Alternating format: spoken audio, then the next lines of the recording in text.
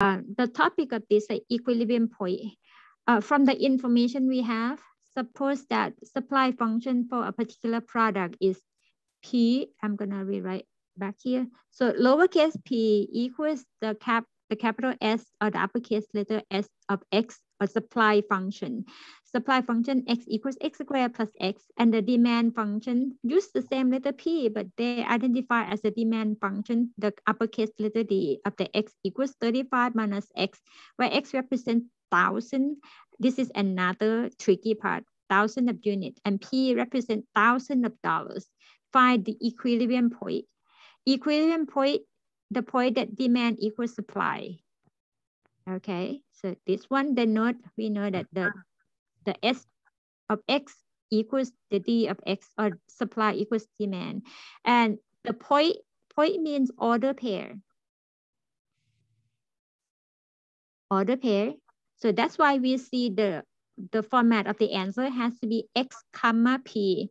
The lowercase the subscript E, that means the equilibrium point. So step number one, we're gonna solve for, we're gonna solve for X, okay? And step number two, we're gonna find or evaluate, find the value P. And to find P, you can use either from the S or from the D function, either one, okay? So from the problem, how do you solve for X? Because you're gonna set S of X or the supply demand uh, equals demand function. And the supply is X squared plus X.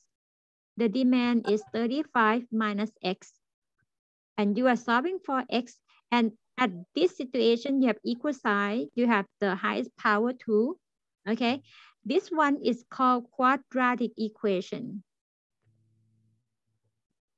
Okay, quadratic equation is equation that means equal sign, quadratic, the power two. So that's the name of this expression. So no worry about that. So your goal is to solve for x. How do you solve for x for the quadratic equation? You're gonna move every term together in one side and leave one to be zero. Technically, like in general, we leave the right-hand side to be zero. So that means we subtract 35, we add x to both sides of the equation okay? If we do that, nothing to do with the x squared. We still have x squared. x and x added together becomes 2x and then minus 35. Now all three terms together in one side and equals zero. And how to solve the quadratic equation? There are different ways. You can do the, well, some students use the diamond technique. Some students use the uh, factoring or some student might go ahead with the quadratic formula. What is the quadratic formula? x equals negative b plus minus square root b squared minus 4ac all divided by 2a, right? So that's the quadratic mm -hmm. formula. So either one, whatever that convenient for you. So for me, I would recommend you to do factoring. So I would think about the two numbers that multiply each other to get 35. And then the difference, because the product is negative sign, right? The difference is two.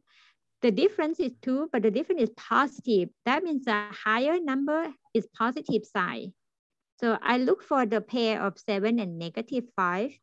Okay, so then I will get the factor like x plus seven multiplied by x minus five equals zero. Therefore, I get the two numbers Okay, I'm gonna go to the next part here. So I get x equals, I get x equals negative seven, one answer, and x equals five. Guess what? The number of the items cannot be negative. So this one doesn't make sense. So we're gonna get, we're gonna keep only x equals five. So see, step one is done, right?